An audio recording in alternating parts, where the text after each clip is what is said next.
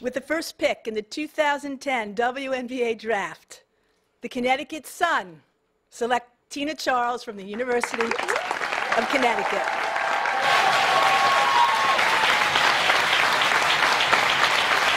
So exactly as we expected.